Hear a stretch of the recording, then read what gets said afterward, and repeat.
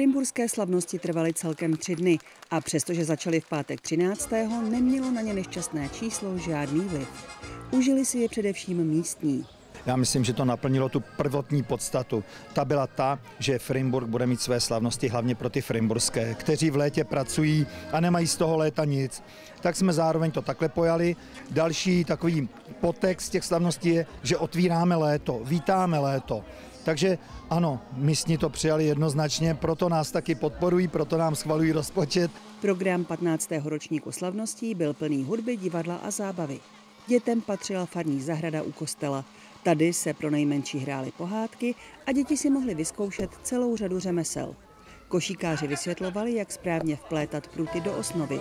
Pro parádnice vznikaly skleněné korálky nebo figurky zvířátek. Do Frimburku dorazili pro potěšení návštěvníků také indiáni.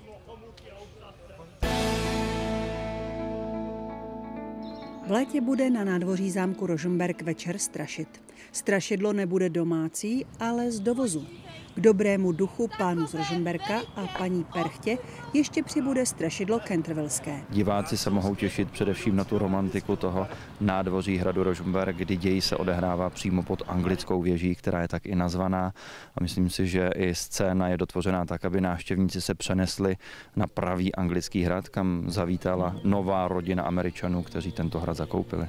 Divadelníci připravili romantickou komedii, horor i detektivku zároveň. No, já hraju přímo titul této hry, čili Strašidlo Kentervilské. Kus napsaný Martinem Drahovzalem na motivy prvotiny Oscara Wilda se odehrává v Anglii na sklonku 19. století. Já myslím, že eh, smích neškodí nikdy.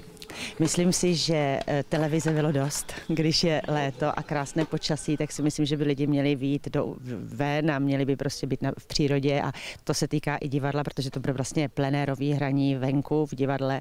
Je nádherná scéna, která vypadá opravdu jako pokojíček na hradě, což jsem naprosto nadšená. Dali jsme si hodně záležet na kostýmech, které jsou věrné. Je to konec 19. století, začátek 20. století a myslím si, že i odborník bude potěšen, i like se pokochá věrnou scénou a krásnými kostýmy. Příběh pod anglickou věží Rožemberského zámku se bude hrát v průběhu celých prázdnin. Budeme hrát eh, tři termíny v červenci a dva termíny v srpnu. V červenci to je 4. a 5. července a pak 18. července a v srpnu budeme hrát ve dvou termínech, vždycky jsou to páteční termíny. Kdo ví, jak to dopadne. Třeba se strašidlo Kentrvelské na Rožumberku díky nadšení divadelníků usadí trvale. A i tady se začne objevovat tajemná rudá skvrna na koberci. To je krev nebo Lady Eleanor. Plzeňskou katedrálu svatého Bartoloměje si teď můžete prohlédnout u Lipna je z Kostek. Její stavitel ovšem nepochází ze 13. století, ale je to naprostý současník, student historie a pedagogiky. Mám tady uh, teďka tři exponáty. Je to tady za mnou chrám svatého Bartolomě z Plzně, potom je to antické divadlo a potom nedostavený model Bradavického hradu z Harryho Pottera, který tady v průběhu celého léta budu stavět, rozšiřovat a budu o tom dělat workshopy, povídat lidem a podobně. Jak dlouho si hrajete s legem? No, já si s ním hraju asi od dětství, ale takhle nějak, když to řeknu profesionálně, zhruba posledních 6-7 let. Model je postaven ze 47 tisíc dílů a práce na stavbě modelu trvala zhruba 380 hodin. Mladý plzeňák si prý chtěl postavit dominantu tam od nich.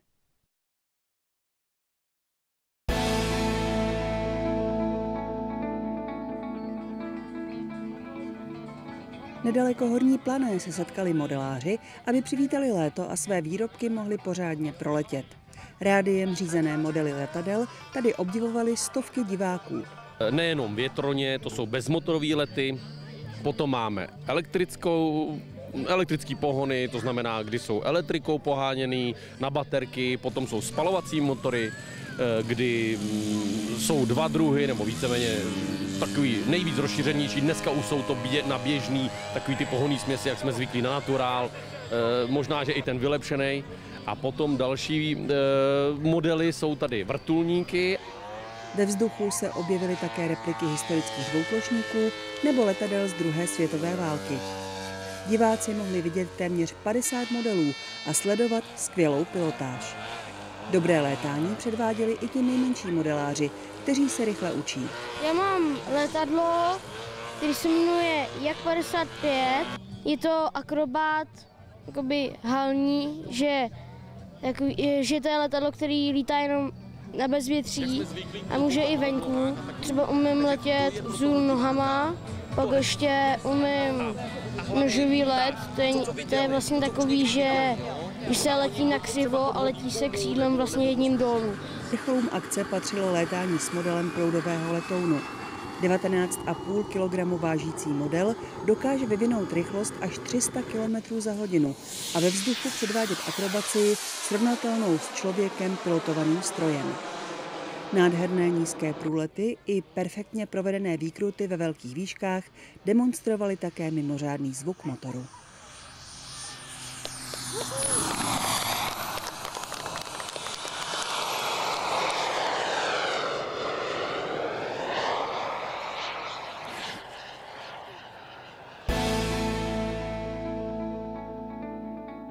Se začátkem léta davy turistů houstnou, památky i restaurace jsou v obležení.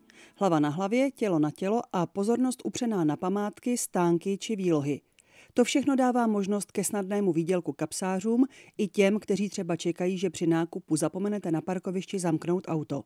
Turisté si nehlídají své kabelky, batohy či jiná zavazadla.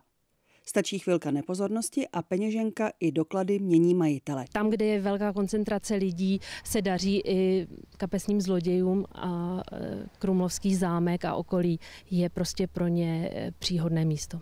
Krádeži můžete předejít, pokud budete dodržovat pár jednoduchých opatření stále mít tu kabelku pod dozorem, mít přes ní e, ruku nebo prostě nenosit ji na zádech, ale spíš vepředu, abych ji, abych ji stále viděla a měla ji na očích. Dobré je si finance rozdělit na více bezpečných míst a také mít například vhodnou kabelu, která má několik způsobů uzavření.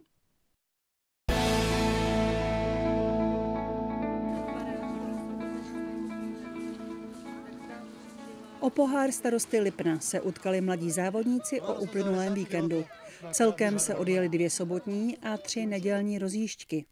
Ve třídě Optimist jelo 23 závodníků, na RS Feva zavodilo 15 posádek a 8 závodníků se utkalo ve třídě Splash. Každá lodní třída má vlastně vypsaný bojky, který musí točit, takže Optimist má jakoby nejméně koleček, eh, Splash a RS Feva ty mají víc koleček. V sobotu foukal závodníkům severní proměnlivý vítr.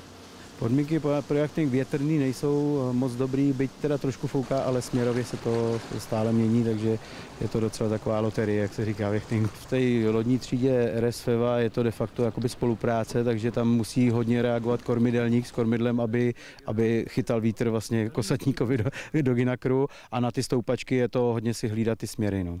Ve třídě Optimist zvítězil Michal Koštýř.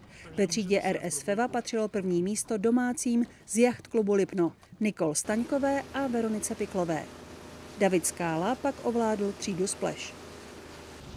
Příští víkend se pojede v Lipně nad Vltavou druhý ročník závodu Crown Cup ve třídě RS Feva.